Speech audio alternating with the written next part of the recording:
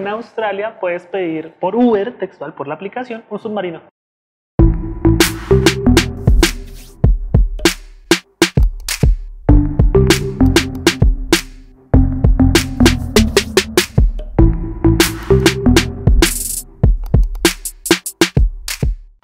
¿Qué tal expertos? Mi nombre es David Ramírez Y yo soy Manuel Nieto. y bienvenidos a un nuevo episodio de Lanix Tech News. En esta ocasión vamos a arrancar con inteligencia artificial, pero específicamente a lo que se refiere a reconocimiento facial. Y es que ya salió legislación en San Francisco, siendo la primera ciudad que prohíbe el reconocimiento facial para el uso, digamos que para la seguridad o para la policía. Ah, ok, solamente para eso. Solamente para eso, ¿no? O sea, si a mí me cogen eh, y me reconoce la policía, no vale. digamos que simple y sencillamente no pueden utilizar esa tecnología para reconocerte, ¿no? Ok, ok. Entonces ahora viene lo bueno y lo malo, la discusión, lo que nos encanta, ¿no? Esta ley fue aceptada porque no hay 100% de confiabilidad en esta tecnología, de acuerdo. ¿sí? Y principalmente los datos dicen de que hay parcialidad. ¿A qué me refiero con parcialidad? De que no hay un- una buena tasa de efectividad en el tema de reconocimiento de mujeres o Ujú. de personas de tez de piel oscura, de tez oscura.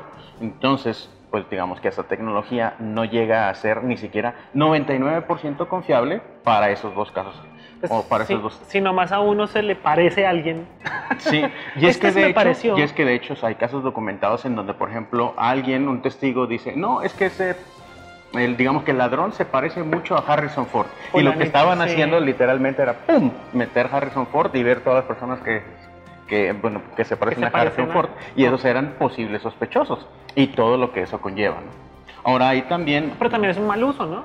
pues es un mal uso y O es un justamente... exceso y abuso. Y justamente uno de la, la persona que lo promovió, un abogado que se llama Matt Cagle, justamente eso era lo que alegaba. Decía, oye, no hay una supervisión y digamos que no hay una metodología de uso. Entonces, casos como esos en donde utilizan, digamos, a un conocido o a una estrella o a un famoso para ponerlo en, digamos, en la base de datos y a partir de, la, de una persona famosa reconocer a un sospechoso, pues bueno, significa que no hay supervisión. Eso agregarle lo de la confiabilidad. Ahora, hay otras historias, hay otro par de historias que yo encontré. De hecho, esta, esta es una historia que recién salió, pero me puse a buscar yo el otro lado de la moneda. Pero, y es que espérame, en Inglaterra... te tengo una ¿Sí? pregunta. ¿Por qué mujeres menos y por qué hombres de tez oscura menos? O sea, ¿qué tiene que ver que sea mujer o que, sea, que tenga la piel negra? Pues mira, la noticia no lo, no lo dice lo suficiente, pero yo me puse ahí un poquito a indagar y de hecho les recomiendo un artículo de Bloomberg, les vamos a dejar los comentarios aquí, que hablan respecto a la tecnología de reconocimiento facial. En ese artículo, una de las cosas que destacan es que no hay la suficiente cantidad de información, las bases de datos no se han alimentado lo suficiente para ir mejorando el grado de confiabilidad de la tecnología hacia mujeres y hacia hombres de hombres y mujeres de tez oscura. Y es que la, al final la inteligencia artificial se basa es en repetir, repetir, repetir y ir aprendiendo Sí, y mucho. optimizar, de- optimizar. Y Sí. esta tecnología, de hecho, en ese artículo de Bloomberg en- detallan como que cómo empezó la historia del reconocimiento facial y van navegando en un par de minutos en la evolución de la tecnología de reconocimiento facial, ¿no? Ok. Y cómo poco, digamos que al principio cómo se avanza muy muy lentamente y después hay una curva exponencial en donde la tecnología, pues bueno, se vuelve mucho más confiable de uso común, pero no al grado que se pueda ahorita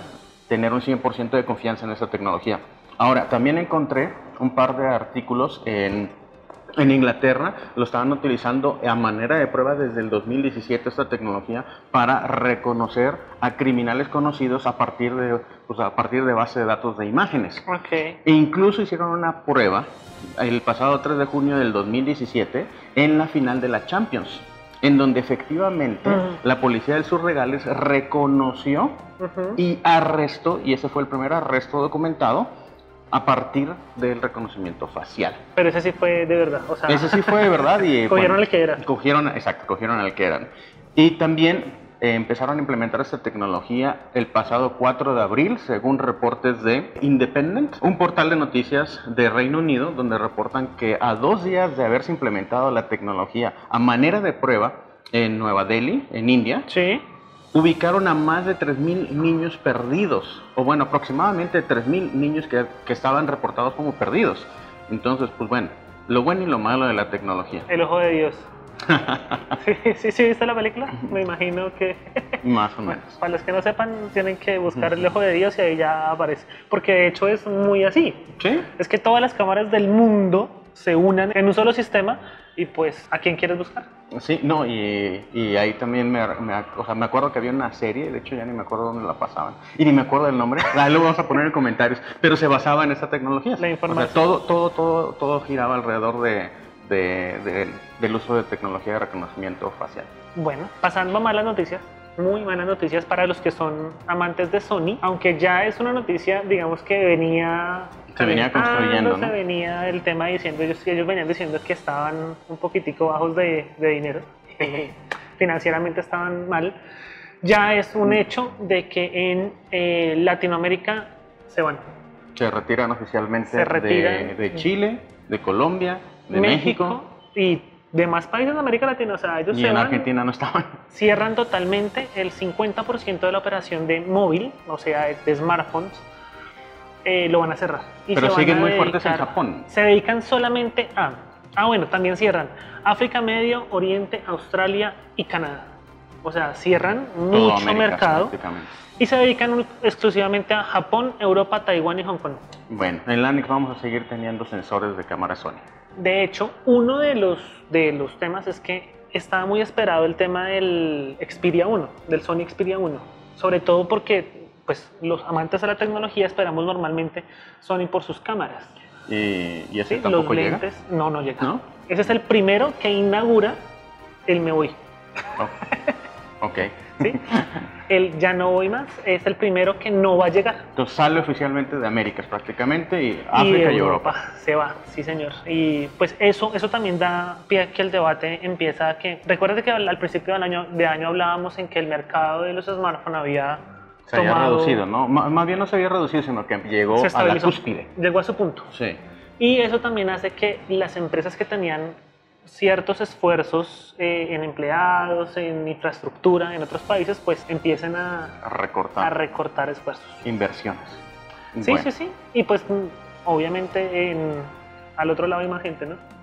Claro. Oriente es mucho, mucho la gente que, que hay, entonces pues Bueno, te cambio, te cambio de nota totalmente. Ya ves que estábamos hablando por ahí en un news, incluso hicimos un news exclusivo de que Huawei, que los backdoors y que bla bla. sí, ¿Sí? Bueno, pues resulta que encontraron una nota que pasó prácticamente de noche con tanto ruido de Huawei. El miedo, digamos, mi versión y mi lectura de Huawei, y ya hablaremos un poco más al respecto, es de que el miedo principal tiene que ver con la infraestructura, ¿no? Entonces, si, si tu infraestructura se basa en tecnología que está en China y China tiene leyes de que están obligadas las empresas, ah, si el gobierno lo solicita, la tienen que apoyar, imagínate que mandan una pildorita de la muerte, ¡pac! Y es que ahora prácticamente toda la tecnología tiene muchísimo software y ese muchísimo software se actualiza de manera automática y remota. Sí. Entonces es prácticamente como tener un control remoto y ¡pac! pildorita de la muerte y apagas todas las redes, ¿no? Blackout Estados Unidos, 1, El- 2, 3, chao. que apretar el Bueno, botón. ahí te va.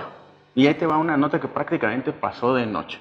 Y es que encontraron una vulnerabilidad en equipos Cisco. Una vulnerabilidad fuerte. Es una vulnerabilidad que se basa en una plataforma o en un módulo que tiene Cisco en prácticamente todos los dispositivos que ha fabricado a partir del 2013. Y se llama Trusted Anchor Module. Es un dispositivo de hardware que lo que se supone que debería de ser... Pero espera, ¿en todos los dispositivos? Yo creo que tendría que dejarlo así. Pausa de un minuto para pasar toda la lista de dispositivos.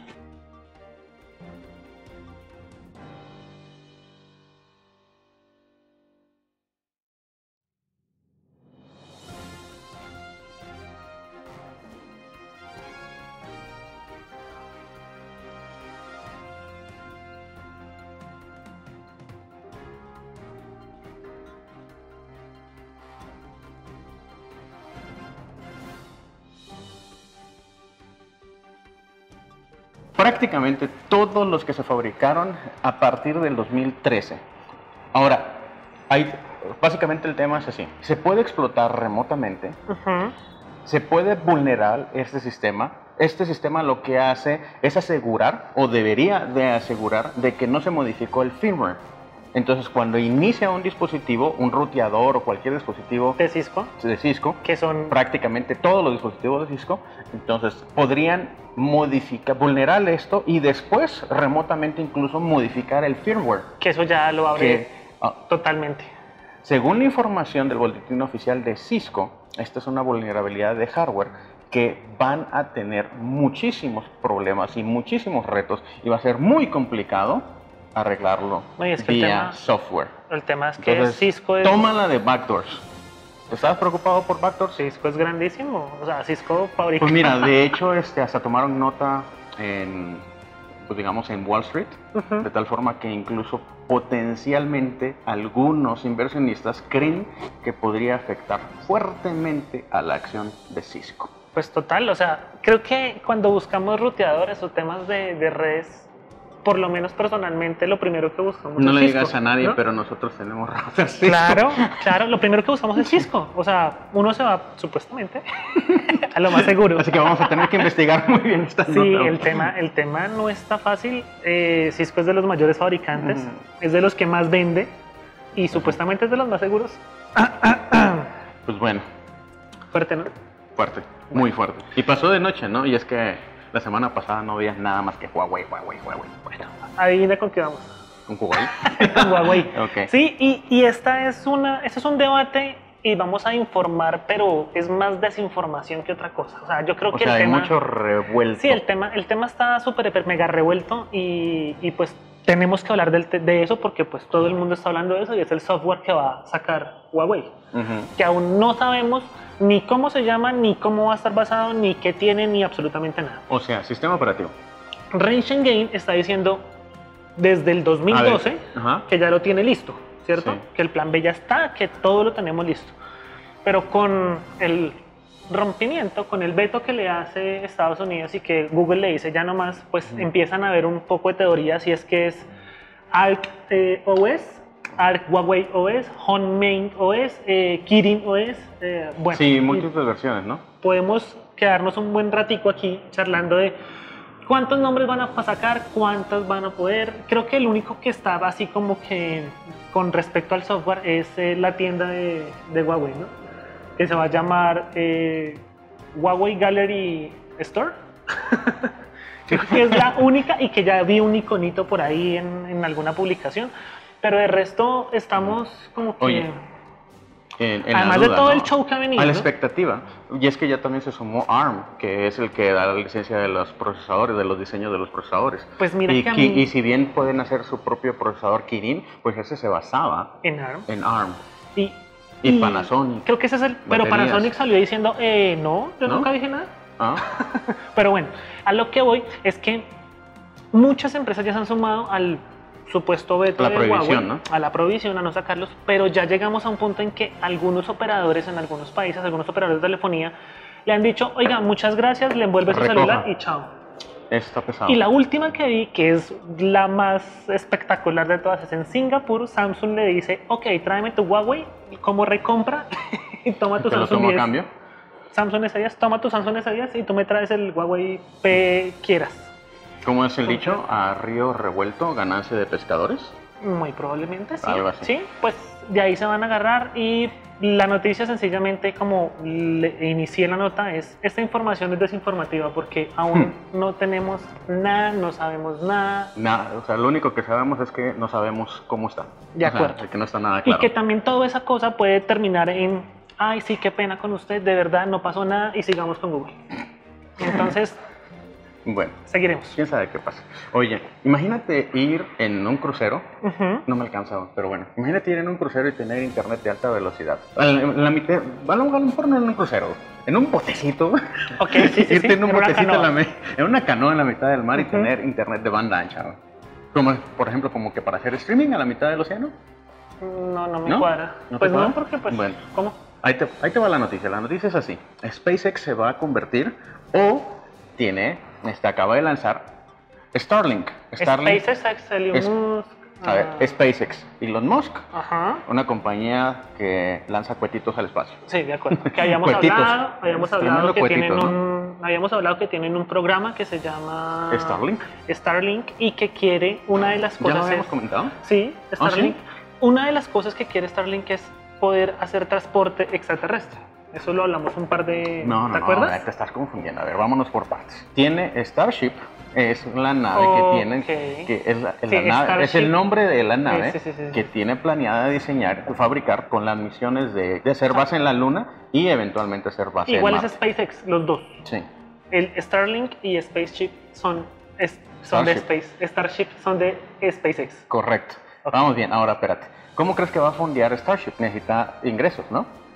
Bueno, una de las maneras, y justamente es uno de los proyectos, es un proyecto que se llama Starlink. Y el proyecto de Starlink básicamente es convertirse en un proveedor de Internet global que tenga cobertura del 100% del planeta. A lo mejor inicialmente, este, pues bueno, con, la, con el beneficio de cobertura en áreas rurales, digamos que el ejemplo que te di, que en la mitad del océano haya una excelente cobertura de Internet, con baja latencia y alto ancho de banda. Entonces, esos son los beneficios que van a tener. Acaban de lanzar su primera misión. En la primera misión, 13.5 toneladas prácticamente, bueno, casi 15 toneladas de Ujú. Satélites. Son 60 satélites en total. Van a tener es que... mucho. Eso O sea- es muchísimo. Y es que el proyecto, bueno, el proyecto en total serían más de mil satélites. Ahora bien, en esta primera misión satélites. lanzaron 60 satélites. Con seis misiones más van a poder tener cobertura para, bueno, para proveer internet al norte de Estados Unidos y Canadá. En 24, en- después de 24 lanzamientos van a tener prácticamente cobertura global. GPS tiene solamente 34 satélites, Sí. ¿no? Y este señor piensa lanzar mil. Más de mil para tener cobertura global. Estos satélites están en órbita baja, aproximadamente a 500 kilómetros de altura, y eso les va a permitir tener una baja latencia, o sea que tu velocidad de transferencia de datos va a ser súper rápida y también tener banda ancha. Específicamente cuánto, no se sabe. O sea, algunas características- ¿Vamos a verlos pasar? Pues mira que hay varias imágenes por ahí en internet en donde se ve la constelación de los 60 satélites que Sí. ha sido capturada por astrónomos aficionados. Pues bueno, ese es el principio del proyecto Starlink. Este, muchas innovaciones en los satélites. Tiene un único panel solar. Típicamente los satélites tienen dos, pero como la redundancia, pues en realidad es la redundancia de un satélite completo es otro satélite. Sí. Pues entonces este, nada más le pusieron un panel solar replegable o plegable más bien. Eh, las antenas son totalmente planas y es que eso tiene ciertos beneficios para incluso tener una malla de cobertura mayor. Tiene propulsores que le permiten, pues bueno, esquivar, por ejemplo, basura, basura espacial y le permite moverse hacia arriba, hacia abajo.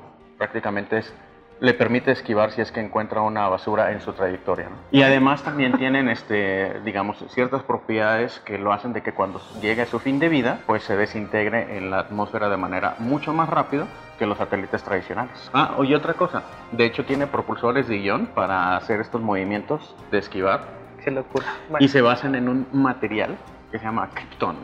Es un gas noble. sí, sí, leí el, el Krypton. O sea que Superman no va a poder entrar al final. ok, entonces, ven, para terminar el, el Tech News, algo de, de las noticias es, ha habido mucho tema con las 17 tierras raras que solamente se 19 producen. elementos, ¿no? Sí, son elementos químicos que solamente se producen en, en el Oriente.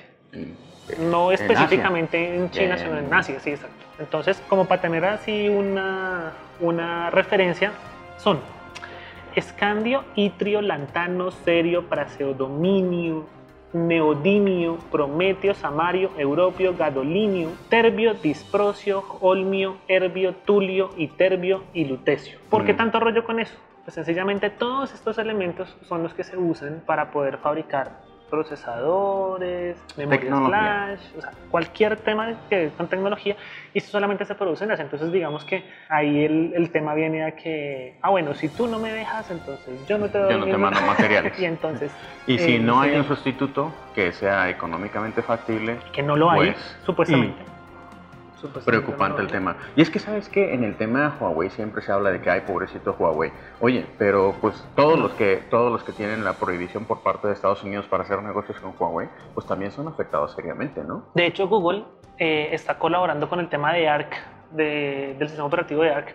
Sencillamente porque... Tiene 90 días para hacerlo. A ver, el año, el año pasado Huawei vendió 200 millones de, de smartphones. ¿A qué empresa no le queda bien 200 millones de licencias o de smartphone y que 200 millones de personas tengan publicidad todos los días en Google? Entonces, pues no es tan, Cosa no es tan seria. fácil. O sea, no, no es que yo diga, ay, sí, qué chévere sacarlo porque el presidente me dijo no. No tan chévere. Bueno, Bueno, y las rápidas. Entonces, Uber tiene una nueva flota de submarinos.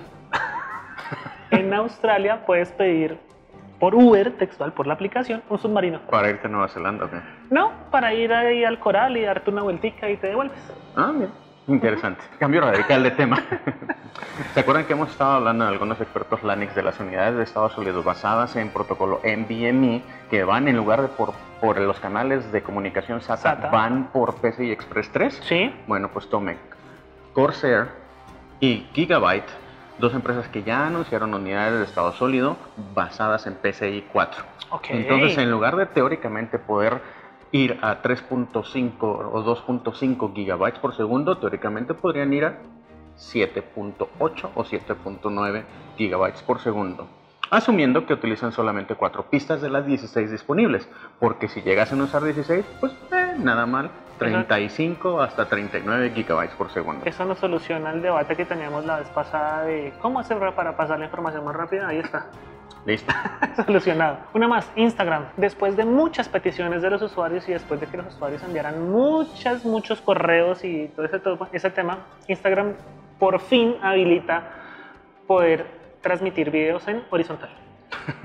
Y después de años y años. Pues es que solamente era vertical. De hecho, para poder transmitir nosotros en horizontal, Manuel tenía que hacer que- un sí. show ni el berraco, o sea, como que recibir la señal, voltearla. Bueno, a partir del primero de junio ah, se habilita ya la opción para volver a transmitir vertical. Microsoft. Resulta que Microsoft ahora, ya ves que Windows XP y Windows 7 ya no, pues bueno, prácticamente ya no tienen soporte. XP ya no tiene soporte. Ya no hay. Bueno, acaban de lanzar una actualización de seguridad para Windows XP. Por Bueno, pues porque encontraron una vulnerabilidad que es tan potencialmente grave que valió la pena sacar una, una actualización de seguridad. Encontraron que, que, bueno, que existe una vulnerabilidad basada en, y ellos dicen, no es del protocolo RDP. ¿Qué es RDP? Remote Desktop, Desktop Protocol. Protocol. ¿no? Entonces es con lo que se puede acceder remotamente a una terminal de Windows, a un sistema de Windows. Nosotros tenemos servidores en Amazon y utilizamos RDP Para para, acceder, para podernos conectar y poder maniobrar o tener acceso al sistema. O sea, conclusión, actualizar. Conclusión, actualicen de manera inmediata. ¿sí? Y más si ustedes tienen servidores en la nube y los acceden a través de RDP, actualicen esos servidores. La vulnerabilidad es muy seria porque no se requiere ningún tipo de interacción para poder, digamos, entrar e infectar un sistema. Ok. ¿sí? bueno. Y, y incluso en el blog de Microsoft dicen que esto es potencialmente tan grande como en su momento la vulnerabilidad que afectó y que provocó el malware WannaCry, Pues por algo que se puede dispersar a nivel mundial. Por ahí hay unos reportes de que hay más de 11 millones de servidores detectados que están escuchando el puerto RDP. 11 millones. 11 millones. 11 millones Es muchísimo. Entonces, si bien a lo mejor no, no te afectaría a ti como usuario, porque típicamente no tienes RDP habilitado en tu PC, PC. personal, pues sí es un sistema o un protocolo que se utiliza típicamente para administrar servidores. Bueno, Entonces, Windows actualicen. 2000, Windows 2003, Windows 2000 RP2, Windows XP, Windows 7, todos esos vulnerables, actualicen. Ya. Y síganos en nuestras redes sociales, en Facebook, YouTube, Twitter, Periscope, Twitch, Instagram. Denle like, suscríbanse y nos vemos el viernes de expertos. Chao, chao. Chao.